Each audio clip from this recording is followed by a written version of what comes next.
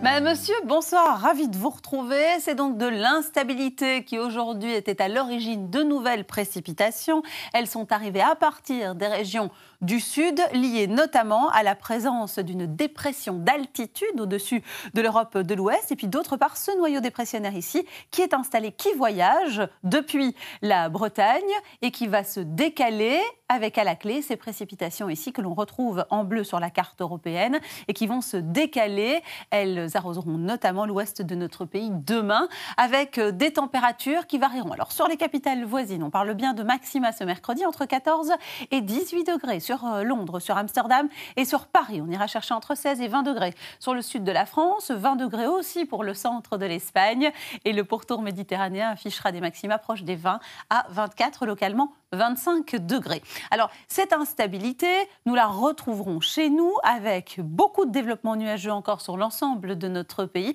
et donc ces précipitations qui, cette fois, concerneront l'ensemble de nos régions. Température de nuit entre 9 et 13 degrés, voilà les minima pour les heures prochaines.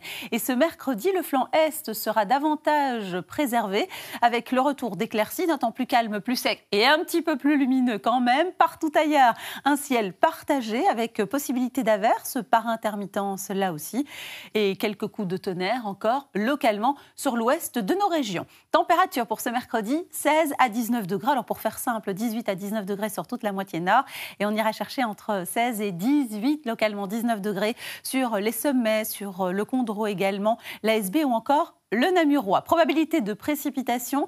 Alors la fourchette est assez vaste, entre 50 et 90% Tout dépendra précisément de l'endroit et de la période. 16 degrés sur Courtil et 17 degrés à Silly, 16 degrés à Palisol et 18 degrés sur Etterbeek ou encore sur West End et plus généralement sur la bande côtière. Ce jeudi ciel tout en alternance, là aussi plus calme tout de même sur la moitié sud avec des valeurs comprises entre 17 et 22 degrés et donc toujours un risque d'averse, parfois d'un coup de également ce jeudi pour poursuivre la semaine que nous terminerons vendredi avec euh, une belle journée. C'est vrai, en soirée, néanmoins, le risque orageux se précisera. 30% de probabilité de précipitation, des températures qui afficheront 23 degrés. Elles vont baisser ensuite tout au long du week-end pour afficher d'abord 21 et ensuite 19 degrés. Quelques averses encore possibles samedi, mais surtout dimanche, avec davantage de grisailles sur l'ensemble de nos régions.